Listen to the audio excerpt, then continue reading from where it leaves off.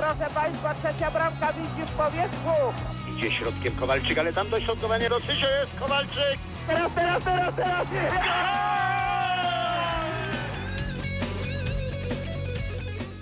Dzień dobry, witam w ósmym tegorocznym magazynie piłkarskim Gol. Chyba jeszcze nie można mówić o pełni wiosny. Na kilku krajowych boiskach podczas minionego weekendu sypał śnieg i być może wkrótce piłka nożna stanie się zimową dyscypliną sportu. Dzisiejszy program będzie nieco krótszy, a zatem nie tracąc czasu prezentujemy bramkę poprzedniej kolejki. Nasz plebiscyt wygrał tym razem Rafał Siadaczka, piłkarz Widzewa Łódź. Na ten wspaniały strzał głosowało 5416 osób. Zwycięstwo w naszym plebiscycie piłkarza Widzewa i jeszcze raz jego gol z derbowego meczu z ŁKS-em. Na następnych miejscach Leszek Pisz, Janusz Bodzioch, Andrzej Rycak i Arkadiusz Bąk. Konkursy i plebiscyty jeszcze w dalszej części programu. Teraz o tym, co działo się na boiskach. Z uwagi na krótszy program prezentujemy bezpośrednio po sobie kolejno trzy relacje z występu lidera, wicelidera oraz z meczu ze Smaczkiem. Zapraszam. Do meczu w Warszawie oba zespoły przystąpiły w odmiennych nastrojach. Legia po wpadce w Zabrzu z Górnikiem, ŁKS zaś po efektownym zwycięstwie nad Stomilem. Chcemy dobrze grać i zdobyć to, co się uda. Gramy u siebie, chcemy zagrać ofensywnie, chcemy grać o zwycięstwo, a jak się po meczu się okaże, jak będzie. Do porażki Legii z Górnikiem przyczyniła się ręka Mandziejewicza.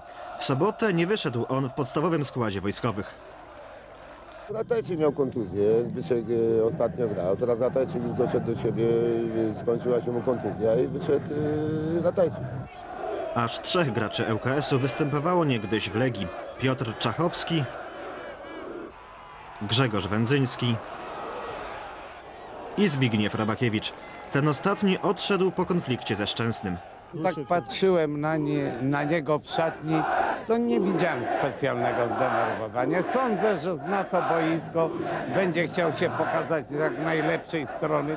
A wie pan, że bramkarz tak jak saper może się raz pomylić. Co pan powie mu w szatni? Ja mu nic nie powiem, bo ja się z nim nie spotkam w szatni. Ja się rozbieram w zupełnie innej szatni. Mam nadzieję, że ja mu podam rękę. No, także ja myślę, że chyba zaczynamy między sobą konflikt i będzie wszystko w porządku. Szczęsny podał rękę, ale Markowi Chojnackiemu. W pierwszej połowie meczu najpiękniejszą akcję przeprowadzili Kucharski z Piszem. Po przerwie Legia grała już z Wieszczyckim. W 58 minucie właśnie on wyprowadził wojskowych na prowadzenie.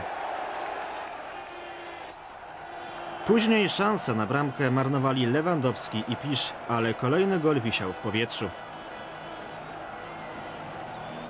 Oto 75 minuta. Głowa Wieszczyckiego ponownie okazała się szczęśliwa. Wynik 2-0 nie zmienił się do końca meczu.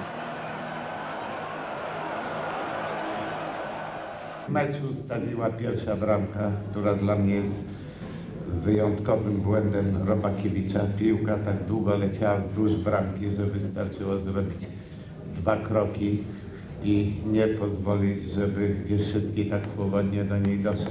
Zbyszek myślał, że Rysiu odda strzał głową, no i Rysiu przedłużył piłkę, akurat ja wszedłem w ciemno i akurat wiedziałem, dobrze wszedłem w linię, w linię lotu piłki i uderzyłem, e, raczej Zbyszek był bez szans. Zbyszek nie kontrolował tego ostatniego przedłużenia piłki. No ja myślę, to by mi ktoś strącił głową Tam i... jak nikogo nie było, tylko wiesz, A, wcze- ale, a wcześniej? A wcześniej? nikogo. To nie, że nie... No ale jutro do mnie dzwoni. Zadzwoni do pana.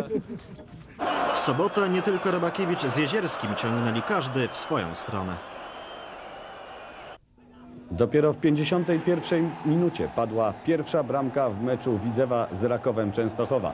Jej strzelcem był Ryszard Czerwiec, który wykorzystał zagapienie obrony Rakowa i pięknym strzałem z 15 metrów nie dał żadnych szans Andrzejowi Kredkowi.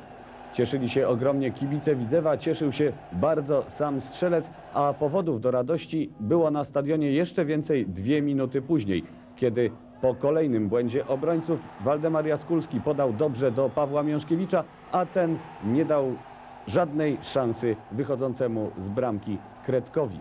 2 do 0 w drugiej połowie spotkania. Po pierwszej niezłej w wykonaniu Rakowa wydawało się, że zespół ten nie ma już żadnej szansy na nawiązanie walki w meczu z pretendentem do mistrzowskiego tytułu. W 60 minucie jednak Częstochowianie zdobyli kontaktowego gola. Tym razem zaspała obrona Widzewa. Andrzej Woźniak był zasłonięty, nie zdołał sparować strzału Bartłomieja Wilka i odżyły nadzieje wśród Częstochowian. 2 do 1 po 60 minutach gry. Nadzieję te rozwiał jednak Marek Koniarek, najlepszy strzelec ligowej tabeli. W 65 minucie pokonał Kredka po raz pierwszy, a 12 minut później uczynił to po raz drugi. Dwa gole Koniarka zdobyte w tym meczu to 18 i 19 bramka najlepszego strzelca polskiej ekstraklasy zdobyta w tym roku. O ile ta pierwsza była niemal kopią drugiej bramki tego spotkania strzelonej przez Pawła Miążkiewicza, o tyle drugi gol wart jest tego, by obejrzeć go kilkakrotnie. Marek Koniarek wyskoczył wysoko w górę, uderzył piłkę głową i Kretek mimo muśnięcia piłki palcami nie był w stanie wybić jej na róg. Koniarek miał jeszcze szansę na klasyczny hat-trick, ale po dwóch jego uderzeniach dwukrotnie znakomicie bronił Kretek. Na dalsze bramki Marka Koniarka trzeba zatem poczekać chyba do najbliższych spotkań.